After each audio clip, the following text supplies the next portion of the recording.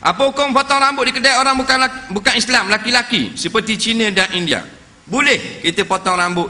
Yang tukang potong rambut itu orang kafir dan orang tu laki-laki. Dengan syarat kita laki-laki. Nah. Ha. Ke tak boleh? Kita orang lelaki, lepas tu orang kafir potong rambut kita. Boleh tak? Boleh lah. Dan yang tak boleh, orang laki-laki potong rambut perempuan bini kita baru tak boleh tak usah kata Cina tu imam tukar guting tak boleh ha, tu imam tukar guting bini kita. Mana boleh bau? Nak? Ha. dah perempuan yang tu guting rambut perempuan Islam khilaf ulama. Satu kata haram satu kata boleh. Apa haram? Kerana aurat wanita muslimat di hadapan wanita kafir ada dua pandangan. Satu pandangan mengatakan rambut tak boleh buka. Neh, siapa baju?